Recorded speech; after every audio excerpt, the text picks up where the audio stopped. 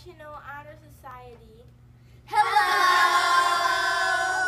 All of us are coming together to ask you to join us at the Detroit Zoo for the fifth annual Walk for Cornerstone on Saturday, June 18th.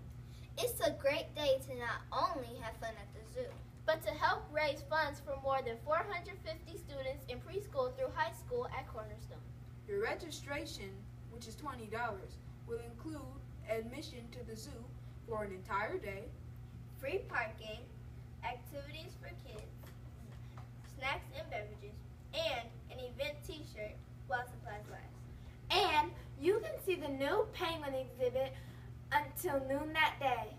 Registration is easy. Just go to the cornerstoneschools.org website and just hit the donation button. The funds we raise will help ensure that we, along with all of our friends, will be able to enroll in Cornerstone in the fall. We hope you'll join us and